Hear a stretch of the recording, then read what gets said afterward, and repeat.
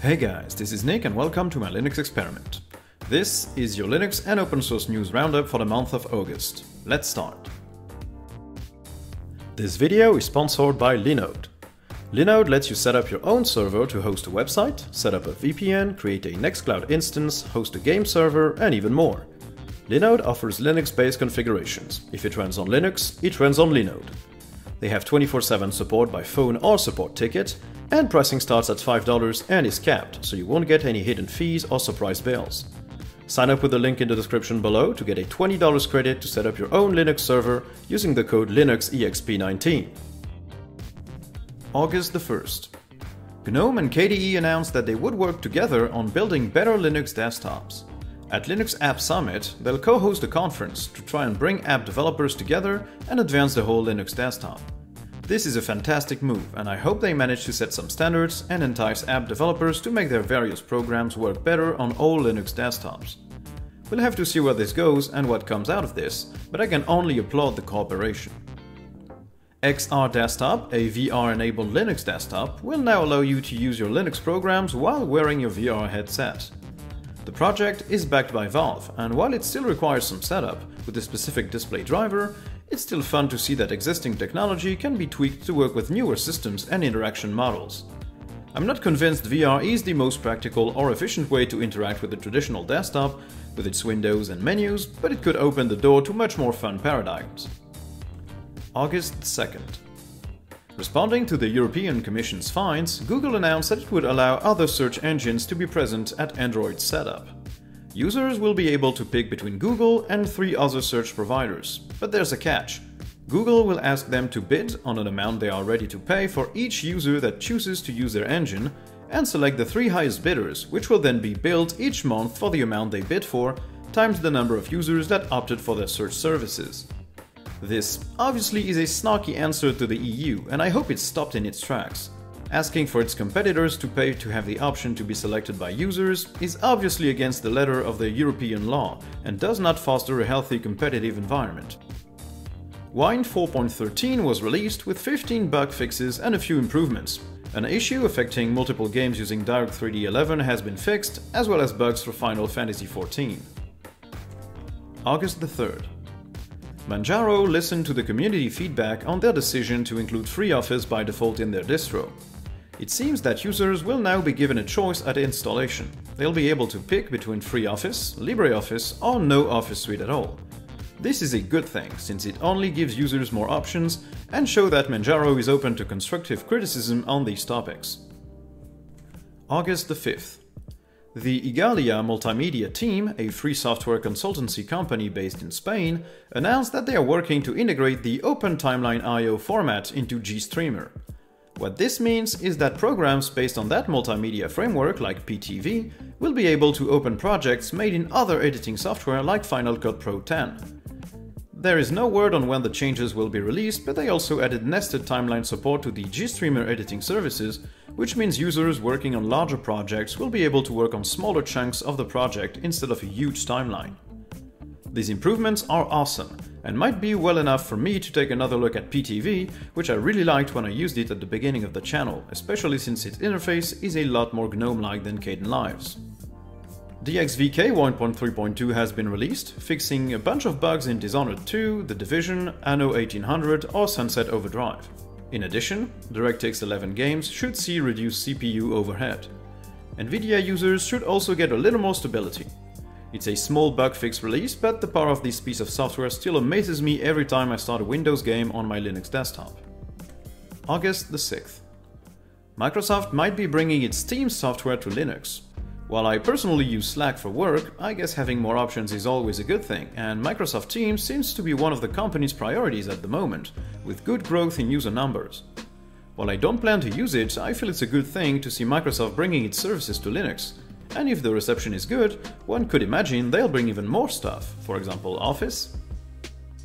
Martin Wimpress from the Canonical Snapcraft team gave a very nice interview to the Tech Republic website on why snaps are a distro-agnostic solution the problem they are trying to solve, and a bit of its history.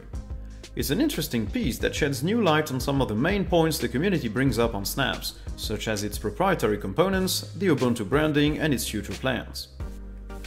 A discussion took place on how to improve Linux desktop performance in low RAM scenarios. At present, the kernel tends to make everything stall once no more RAM or swap is available, and the desktop becomes virtually unusable with an immobile mouse pointer and everything frozen in place. Some solutions are proposed to make sure these kind of scenarios can be handled more gracefully. August the 7th. A KDE vulnerability has been outed publicly before notifying the developers, which is always a bad practice. The problem seems to be that KDE parses any file that uses the .desktop file header style, which could lead to your system executing malicious programs disguised as .desktop files. This flaw has been patched the next day, so if you haven't already, do look for updates in your package manager to make sure your system is secure. NVIDIA has open sourced a bunch of documentation for its GPUs. Everything is available on GitHub, and while this does not cover every card or architecture yet, they seem to be willing to release documentation on most of their GPUs. This is a good move, since it will allow the Nouveau driver team to advance much quicker on the open source NVIDIA driver. Of course, I would have preferred them to open source the driver entirely, but still, this is a very good first step. I'm excited to see what will come of this. Linux Journal announced that they would cease their publication. They let off the whole staff and declare they have no more funds left to run the company. This comes less than two years after the magazine has been saved by its readers, and it's sad news. While I was never a subscriber myself, Linux Journal was a quality publication and will be missed. I hope their vast archive can be hosted somewhere so it can be accessed even after the death of the company. August the 8th. Proton 4.11-2 has been released, updating DXVK to version 1.3.2 and F-Audio to the latest available release. It also upgrades Mono for better .NET support and allow older games to access a fixed 60 FPS mode, which should fix issues on displays with higher frame rates. It also fixes a few bugs on various games. LibreOffice 6.3 has been released as well, bringing a bunch of improvements to the Office suite. The compact notebook bar mode is now available for all pieces of the suite, Calc as a new widget for quick access to the most used functions, and PDF export has been enhanced. Creating fillable PDF forms is also now easier thanks to a new form menu in Writer. Documents can also now be redacted to hide sensitive information. Microsoft Office compatibility has received some love as well, with support for exporting document templates like .x, importing smart art graphics, and better support for pivot tables in Calc. August the 12th. XFCE 4.14 was released after 4 years and 5 months of work. The main features are support for VSync in the window manager, as well as high DPI support and support for graphical acceleration with the NVIDIA proprietary driver. Users can now change color profiles in the settings, and multi-display configs can be saved and restored to avoid having to set up everything by hand every time you plug some displays on a laptop, for example. The file manager received a lot of attention as well, and so did the media player with a mini mode and support for network streams and podcasts. These doesn't cover half the bug fixes and improvements, so I encourage you to read the announcement or better try XFCE for yourself. I haven't paid much attention to this desktop environment yet, but it's about to change soon. August the 16th.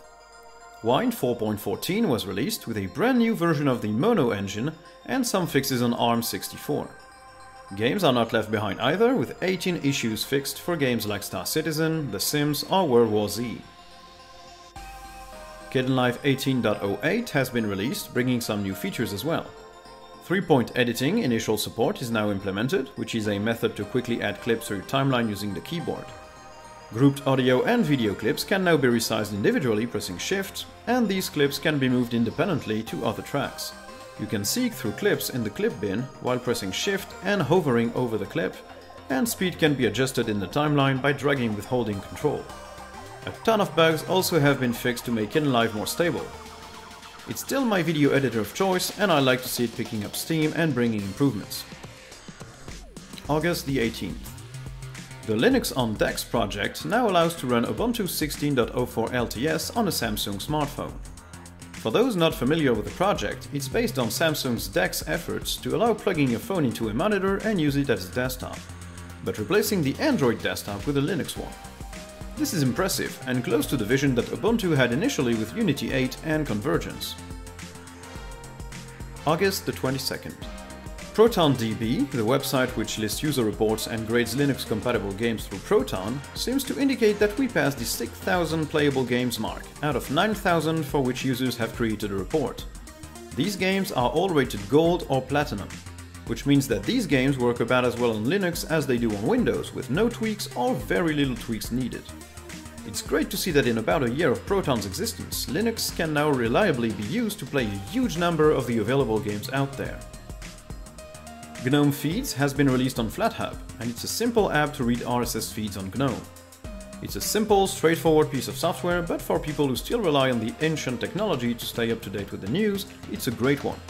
If you're still stuck on RSS feeds like me, give it a go, it's worth a try. August the 24th. The Enlightenment desktop released its first version in two years, Enlightenment 0.23.0. The feature list is quite small, including the option to take a padded screenshot, adding music playback control support, moving windows while alt-tabbing, and improving Wayland support. Rage, the audio player for the Enlightenment desktop, also saw an update. While I never tried this desktop yet, it seems like a great, minimal and lightweight option. I'll make sure to look into it in the future. August the 25th. Linux celebrated its 28th birthday. Starting out from a pet project from Linus Torvalds, something he said wouldn't be big or professional, it's now the dominant OS in the server market. So much so that Windows now uses it for its Windows subsystem for Linux, and Microsoft even proposes its own Linux distro for its Azure cloud services. August the 26th. D9VK 0.20 has been released, adding a number of DirectX 9 features, which should improve support for Undertale and Unreal Engine 3 titles. A lot of bugs have been fixed as well, and the developers have worked on bringing performance improvements all around. D9VK is now included in Proton, so you should get the update soon. You still need to enable it manually in the Steam launch options, but a quick visit on ProtonDB should be enough to make sure which games work better with it. August 27th. Proton 4.11-3 was released, with big changes to how gamepads are supported. Previously, they were all considered as emulating an Xbox controller, but now they'll be properly recognized and accessed by the games directly, which means that PS4 controllers should now work better with Steam Play. F-Sync, which aims to replace eSync, has been improved, and language fonts have been added. The in-game web browsers should behave better, and older VR titles should now work better as well. It includes the latest version of D9VK as noted previously, so older games should also see some improvements. Head to the Steam preferences to select 4.11-3 as the default for your games. Microsoft announced that they would bring exFAT support to the Linux kernel. This file system is mainly used for external USB devices and has been created in 2006. This file system was proprietary and thus required licensing fees, but soon that won't be the case anymore. It's good to see Microsoft being more rational about these kind of things. August the 28th. Thunderbird 68 was released, bringing a new, more legible app menu and replacing the Preferences dialog with a tab more in line with what's done in Firefox. It now supports full color for text and has improvements for its dark theme. It's good to see improvements to the email client's interface, and I hope they keep on revamping it, as it's the only thing preventing me from using it as a desktop client these days. Collabora has published an update on their work on VirGL Renderer, a solution to emulate a GPU while using a virtual machine through QEMU. They showed off the tech by playing Tomb Raider, Alien Isolation, Outlast, Metro Last Light, and other games with this solution. This could bridge the gap to being able to easily play games not supported on Linux through a virtual machine, and though performance won't be close to native, it's still better than not being able to play at all. August the 30th. Wine 4.15 was released, adding initial implementation for HTTP and a few bug fixes for Dragon Age Origins, Titanfall 2, Guild Wars, World of Warcraft, and the anti-cheat system BattlEye. It should be included in later releases of Proton soon. DXVK also saw a release, bringing it to version 1.3.3. The new release fixes issues in Far Cry Primal and Steam VR. It's a very small one, but it's still nice to see the project moving at such a rapid pace.